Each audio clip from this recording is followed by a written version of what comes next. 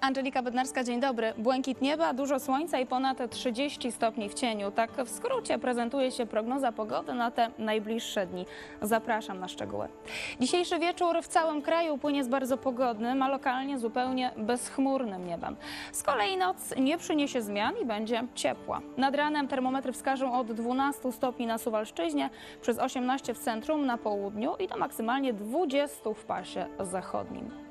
Z kolei jutro na pogodę w Polsce w dalszym ciągu będzie wpływał ośrodek wyżowy, dzięki któremu, jak Państwo widzą, słońca nigdzie nie zabraknie. To będzie kolejny upalny dzień, szczególnie dla mieszkańców zachodniej części kraju, gdzie temperatura w godzinach popołudniowych wzrośnie nawet do 38 stopni.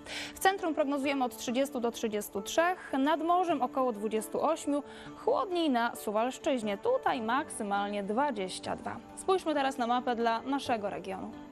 Zarówno wieczorem, jak i w nocy nad województwem przeważać będzie bardzo pogodne niebo ze sporą ilością rozpogodzeń do zupełnie bezchmurnego nieba. O poranku termometry wskażą od 15 do 17 stopni we Włocławku oraz w Inowrocławiu.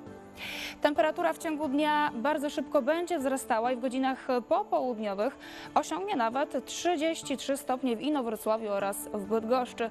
Poza tym przez cały dzień nad województwem dominować będzie pogodne, słoneczne niebo. Zatem podczas upałów uważajmy i dbajmy o siebie. Dobrego wieczoru i do zobaczenia.